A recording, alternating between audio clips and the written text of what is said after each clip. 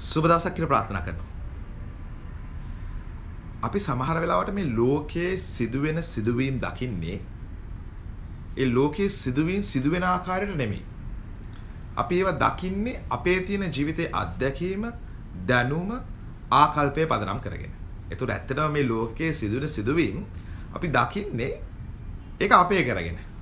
එතකොට සමහර වෙලාවට ඒ සිදුවීම ඒ ආකාරයෙන්ම අපිට තේරුම් ගන්න බැරි වෙනවා මේ හේතුව නිසා. ඉතින් මිත්‍රවරුනි අපි ලෝකයේ සිදුවීම් සිදුවෙද්දී අපි පොඩක් අවදි වෙන්න වෙනවා මේ සිදුවීම ඇත්තට මේ සිදුවීම විදියටම අපි දකින්නේ.